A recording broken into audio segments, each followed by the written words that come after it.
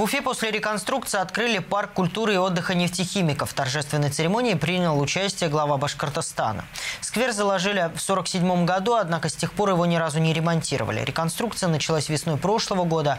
Работами занималась тюменская компания «Реалист». Стоимость контракта составила 400 миллионов рублей. В парке демонтировали старые аттракционы, сняли разбитый асфальт. На их замену установили новую детскую и спортивную площадки, проложили пешеходные велодорожки, а также смонтировали уличное освещение, установили видеокамеры и восстановили входную арку со стороны улицы 40 лет октября. Особое внимание уделили озеленению. Рабочие высадили 370 деревьев и более 2000 кустарников. При реконструкции парка учитывались пожелания местных жителей. По их мнению, место изменилось до неузнаваемости. Вы нам такой подарок большой сделали, особенно вот представителям старшего поколения, у которых здесь и молодость прошла, как говорится, юность прошла, да, в этом прекрасном парке.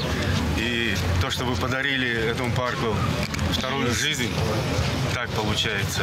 Мы очень вам благодарны за это. Парк прекрасный, вообще молодой, как будто Вот. новый И парк. мы же старались, вот помните, вы о чем просили? Постарайтесь э, не менять его сильно. Мы поэтому не меняли, деревья сохранили. Мы еще подсадим деревья здесь. Вот он, ну, как и был, наверное, в вашей молодости, вот, вот примерно так сделали.